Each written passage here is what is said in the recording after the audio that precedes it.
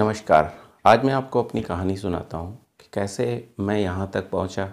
क्या क्या संघर्ष क्या क्या सा परेशानियाँ या क्या क्या अचीवमेंट हुए, मैं आपको आज सारी अपनी बातें बताऊँगा। सबसे पहली बात कि संघर्ष। मैं गाँव में रहने वाला था। बहुत ज़्यादा लाइट नहीं आती। बहुत ज़्यादा लाइट नहीं आती थी। मैं एक रोचक बात बताता हूँ। और मैं हम सब भाई बहन ऊपर छत पे बैठ के पढ़ते थे। और छत पे क्या था? एक लैम्प लैम्प होता था, शायद आप समझ गए होंगे। उस पर मिट्टी के तेल डाल के उसको जलाया जाता था हम लोग फोल्डिंग के बीच में रख लेते थे और पढ़ाई करते थे। पढ़ाई करते करते क्या होता था? कई सारे कीड़े भी आ जाते थे जो लाइट को अट्रैक्ट करके आते थे, लेकिन कमरे में पढ़ा नहीं जा सकता था, इसलिए हम लोगों को छत पे ही पढ़ना पड़ता था और वो काटते भी थे। लेकिन चूँकि एक ये था कि यार पढ़ना तो है ही और हम लोगों को रुचि भी थी पढ़ाई में कि हाँ हमें पढ़ना चाहिए, तभी हम कुछ आगे कर पाएँगे। तो हम लोग उन सारी परेशानियों को छोड़ के पढ़ते रहते थे और रोचक बात ये थी कि कभी कभी पढ़ते पढ़ते हम लोगों का काफ़ी समय हो जाता था और हमें झपकी आ जाती थी। और वो झपकी जो थी एक बार ऐसा हुआ कि हम लोगों का ये गाल जाके लैम्प में टच हुआ, सारी नींद खुल गई और हम लोग जग गए और फिर पढ़ने लगे, लेकिन ये आज तक इसलिए याद रहा क्योंकि वो मतलब एक अजीब सी घटना थी कि अगर कुछ और ज़्यादा हो जाता तो प्रॉब्लम हो जाती। लेकिन अमूमन जो भी मुझे ये सुन रहे होंगे, बहुत सारे लोग सुन रहे होंगे और सबने ये ही फील किया होगा अगर वो गाँव में से बिलोंग करते होंगे और उन्होंने पढ़ाई की होगी तो ऐसे ही पढ़ा होगा। मुझे ऐसा लगता है, आजकल के परिवेश में एसी हो गया, बहुत सारी चीज़ें, सुविधाएँ हो गई, बहुत अच्छे अच्छे स्कूल्स हो गए लेकिन हम लोगों की जो स्कूल थे वो इसी टाइप के थे कि, और रात में लाइट वगैरह की बहुत समस्या रहती थी जिसकी वजह से हम लोगों ने ऐसे अपने आप को सर्वाइव लेकिन एक यूट्यूबर या ऐसे बनने के पीछे का क्या कारण था? उसके पीछे का कारण ये था कि हम जो थे समाज के प्रति मतलब ये बहुत सोचते थे कि हम समाज के लिए कुछ करें कुछ करें, कुछ ऐसा करें कि ए, मतलब हम अपना योगदान को समाज के लिए दे पाएँ। तो दो चीज़ें थी। समाज को कुछ देना है तो सबसे पहले तो आपके पास वो होना चाहिए यानी पैसे होने चाहिए अगर। जो हमारा कॉन्सेप्ट था जो हमारा सोचना था जो छोटी सोच जो हमारा सोचना था वो ये था कि यार हम किसी तरह पैसे से इनकी मदद कर दें या कुछ खिला पिला के मदद कर दें या इनको बुक्स दे दें या पढ़ाई दे दें कुछ ऐसा कर दें। लेकिन संभव इसलिए नहीं था क्योंकि सबसे बड़ी समस्या थी कि आप कितने लोगों को खिला सकते हो। दो, चार, पाँच, बस। और आपके पास जब लिमिटेड पैसे हैं तो आप इतने ही लोगों तक तो अपनी सेवाएँ दे सकते हो। तो अंदर बहुत कुछ था, लेकिन हो नहीं पा रहा था। लेकिन YouTube ने एक ऐसी चीज़ें संभव की जो हम आज बहुत सारे लोगों की सेवा कर पा रहे हैं। बहुत सारे लोगों को उनके जो गोल हैं, उनको अचीव करवा पा रहे हैं। मैं भगवान को बहुत शुक्रिया अदा करता हूँ कि उन्होंने मेरे उस गोल को अचीव कराने के लिए एक यूट्यूब संसाधन दिया। अब बात ये भी आती है, आप सबको ये जानकर, जानना बहुत ज़रूरी होगा कि यूट्यूबर कैसे बन गए। बहुत सारे लोग ऐसे उत्सुक होते हैं कि यार यूट्यूबर मुझे बनना है, कैसे बन सकते हैं, क्या क्या तरीका है? तो मैं मैं कैसे बन गया, ये भी मुझे आपको बताना है और मैं चाहता हूँ कि मैं आपको वो चीज़ें शेयर करूँ क्योंकि वो बहुत इंटरेस्टिंग है। सबसे बड़ी बात यह है कि मेरी वाइफ एक टीचर है, सरकारी स्कूल में पढ़ाती है। तो करोना जब हुआ तो सारी की, सारी चीज़ें लॉकडाउन हो गई, सब कुछ बंद हो गया और वाइफ मेरी भी परेशान थी कि यार बच्चे कैसे पढ़ेंगे। तो सरकारी आदेश ये हुआ कि उनको व्हाट्सअप के थ्रू पढ़ाया जाए ग्रुप बना के पढ़ाया जाए। तो ग्रुप बना के पीडीएफ वगैरह भेजती थी हमेशा। तो एक दिन उसके दिमाग में आया कि चलो कुछ वीडियो बना के देते हैं। ऐसे ही लेक्चर पढ़ाएँगे जैसे क्लास में पढ़ा रहे हैं और वीडियो बनाते हैं और डाल देते हैं। तब तक मुझे या मेरी वाइफ को यूट्यूब के बारे में कोई नॉलेज नहीं थी। तब तक का मतलब समझ रहे हैं ना? आज से दो साल पहले। एकदम समझ लीजिए, एक डेढ़ दो साल पहले क्या नॉलेज कुछ नहीं थी और आज मैं आप लोगों को इतने अच्छे से बता पा रहा हूँ। वो वो वो घटना और वो सफ़र बहुत रोचक है। तो क्या हुआ कि जब मैंने अच्छा चलो यार ये तो आइडिया अच्छा है तो उस समय बच्चे थे। मेरे दो बच्चे हैं, जुड़वा बच्चे हैं, लड़की और लड़का है नारायण और रिद्धि नाम। तो दोनों बच्चे यार सो जाएँ तभी कुछ होगा, क्योंकि वो तो अभी छोटे थे, आठ साल के हैं तो खूब खेल कूद करते रहते हैं तो वीडियो बनने में प्रॉब्लम थी।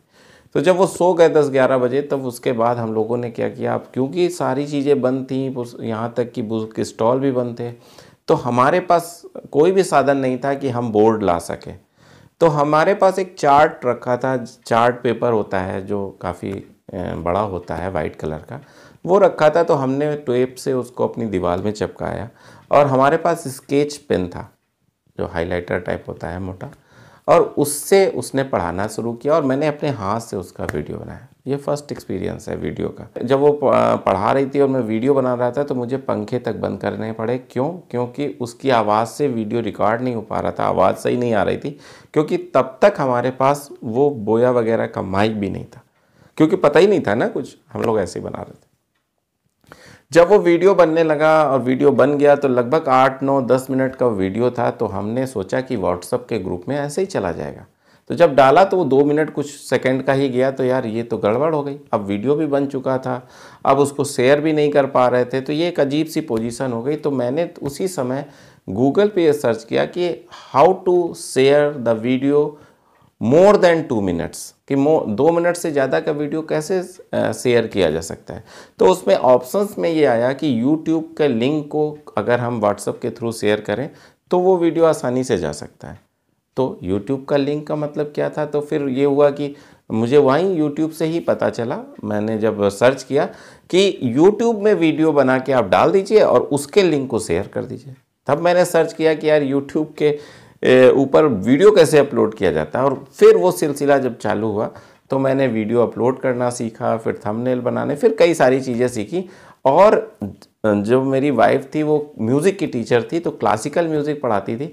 तो जब क्लासिकल म्यूज़िक पढ़ाती थी तो लोगों का इंटरेस्ट भी था उस तरफ़ तो उसके व्यूज़ बहुत अच्छे आने लगे। बहुत बहुत ज़्यादा व्यूज़ आने लगे तो मैंने कहा ये तो अच्छी चीज़ है। लोग बहुत पसंद कर रहे हैं। वो लोगों के जो कमेंट्स थे ना, उन्होंने हम लोगों की मेहनत को और बढ़ा दिया।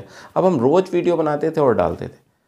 एक दिन क्या हुआ कि मैं टीवी देख रहा था और वो समय था जब लोग पैदल बसों से अपने अपने घर को चल दिए थे। वो मंजर, वो तीन चार पाँच दिन लोग सड़कों पे चल रहे थे, तपती धूप पे बच्चे को लेके और तरह तरह की घटनाएँ टीवी पे दिखाई जा रही थी। उसने मेरे दिमाग, मेरे दिल को झजोर के रख दिया। लेकिन मेरे पास यूट्यूब का पावर आ चुका था। और मेरे पास खुद का एक बिज़नेस आइडिया था जो मैंने अपने लिए कभी सोचा था कि अगर मैं बिज़नेस करूँगा तो यार यही वाला बिज़नेस करूँगा, ऐसे करूँगा। मतलब दिमाग में मैं क्रिस्टल ऑन एयर होते ना कि हवाई किले बनाना, वो बनाया करता था और फिर वो मेरे अंदर जो आइडिया था ना, वो मैंने सोचा कि क्यों ना सबको बताएँ। और वो फ्री ऑफ़ कॉस्ट लगभग था, बहुत कम खर्चे में था। तो मैंने सोचा चलो इसको एकदम एज इट इज़ बना के डाल देते हैं। क्योंकि मैंने वीडियो बनाना आ गया था, क्योंकि मुझे अपनी बात कहनी आ गई थी और क्योंकि मुझे थंबनेल वगैरह सारे बनाने आ गए थे वाइफ के कारण तो मैंने अपना एक चैनल बनाया जिसका नाम रखा फ्री बिज़नेस स्कूल और उसी को मैंने इसमें डाल दिया पहला वीडियो वो इतना ज़्यादा पसंद किया गया, लोगों ने इतने अच्छे कमेंट्स किए, आज भी वो चल रहा है कि मतलब मुझे जैसे मेरी मन मांगी मुराद पूरी हो गई। मुझे पैसे वगैरह का कोई लालच नहीं था। मुझे ये लगा कि हाँ जो मैं सेवा भाव ढूंढ रहा था, जो मैं सेवा का करने का एक ज़रिया ढूंढ रहा था, जो बहुत कम था, वो आज यूट्यूब ने दे दिया। मुझे तो जैसे संजीवनी सी मिल गई और फिर मैं लग गया, फिर मैं नहीं रुका और आज तक मैं लगा हूँ और शायद ज़िंदगी के आखिरी क्षण तक लगा रहूँगा। वो इसलिए लगा रहूँगा क्योंकि मेरे जाने के बाद भी मेरे वीडियो इस समाज को कुछ देते रहेंगे, इस समाज को कुछ मिलता रहेगा और ये मेरे लिए बहुत बहुत बहुत बड़ी बात होगी। एक चीज़ और मैं हमेशा कहता हूँ और आज भी यहाँ पे कहना चाहूँगा कि मेरी नज़र में अगर दान कोई सबसे बड़ा दान है, वो अन्नदान नहीं है, वो धन दान नहीं है, वो और भी कई तरीके के दान नहीं है। मेरी नज़र में अगर सबसे बड़ा दान है तो वो रोज़गार का दान है। क्यों? क्योंकि वो धन भी देता है, वो आपको पढ़वाता भी है। जब आपके पास रोज़गार होगा तो आपकी पूरी ज़िंदगी बहुत अच्छे से सेट हो जाएगी। आपके पास वस्त्र की कमी नहीं होगी, आपके पास खाने की कमी नहीं होगी, यहाँ तक कि आपको बच्चों को पढ़ाने के लिए भी कमी नहीं होगी। तो अगर अगर कोई दान है, अगर मेरी नज़र में कोई बहुत अच्छा दान है तो वो है आपका रोज़गार का दान।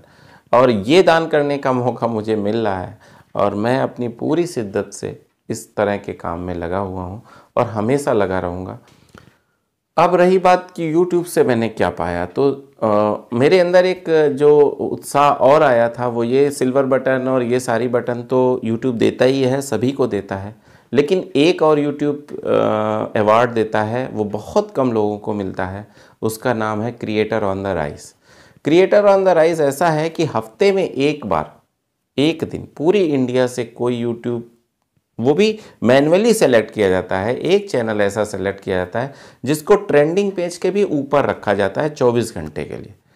वो मैनुअली सेलेक्ट किया जाता है, वो इतना अच्छा चैनल होता है यूट्यूब की नज़र में कि उसको वो हफ़्ते में एक बार सेलेक्ट करता है पूरी इंडिया में एक चैनल।